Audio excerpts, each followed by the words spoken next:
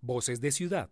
Conozca las historias a través de sus protagonistas, desde los barrios, las localidades y sus vivencias. Porque Bogotá tiene mucho que contar. Liliana Beltrán es una de las capitalinas que recorre diariamente la calle 170 Trabaja en un centro comercial en la autopista norte con calle 185 y al terminar su jornada laboral camina hasta uno de los paraderos del SITP en el barrio Toberín para dirigirse hacia su vivienda en Suba Compartir.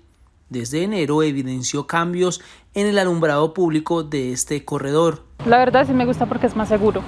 ¿Más seguro? Sí, hay más seguridad se puede pues analizar y observar más a las personas que se van acercando. También el, el esperar las rutas ayuda un poco más el alumbrado. Bajo el plan Iluminamos Bogotá, en la calle 170 se modernizaron la tecnología LED 699 luminarias. La intervención se realizó desde la carrera séptima hasta la conejera. Fabián Rodríguez hace parte del equipo de la Subdirección de Alumbrado Público de la OASP. Seguimos entregando a la ciudadanía corredores totalmente iluminados en luz blanca y luz LED esto, por supuesto, mejore la calidad en la prestación de servicio de alumbrado público en los diferentes corredores principales que tenemos en la ciudad de Bogotá.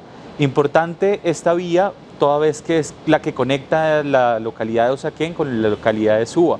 María Fernanda González transita diariamente en su bicicleta desde Suba a la calle 185. Asegura que hoy ve mucho más iluminada la ciclorruta. Siento que ha mejorado bastante porque pues antes sí estas luces de acá estaban como intermitentes y pues sí siempre daba como un poquito de miedo pasar por acá.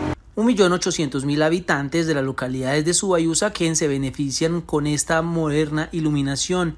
La calle 170 es el sexto corredor vial que entregamos con luz 100% blanca.